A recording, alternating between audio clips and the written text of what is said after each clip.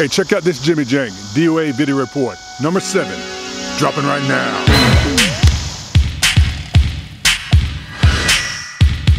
The ocean came alive this week south of the inlet. Big drum, big cobias, Spanish, albacore.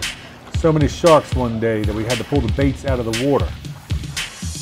We had drum up to 50 inches. I don't know how much a 50 inch drum weighs, but that motherfucker weighs a lot, let me tell you.